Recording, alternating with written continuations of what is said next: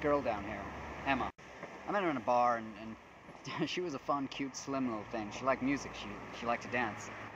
And we were good together. My friends liked her.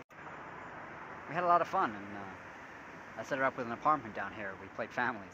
I Thought she knew that it couldn't be more than that, but after a while it got serious, and I should have broken it off right then, but I didn't. She wanted even more of me and more, and I, I, I told her I couldn't, I couldn't do it. So we took a trip, and it got casual and it got fun for a while. Then we got back, we came back and it got worse. Work got busy, and she wanted more of me. She wanted more, and I, she started wanting more from me, and I, I just couldn't give it to her. And I told her this. Anyway, I stayed out late one night, and when I got home, she, she had taken a whole bunch of sleeping pills and some pills and a whole bottle of vodka, which was always her specialty. Funny thing was, I didn't even know she was depressed. But then again, I didn't ask, did I? Yeah, I didn't ask. That's life, I guess.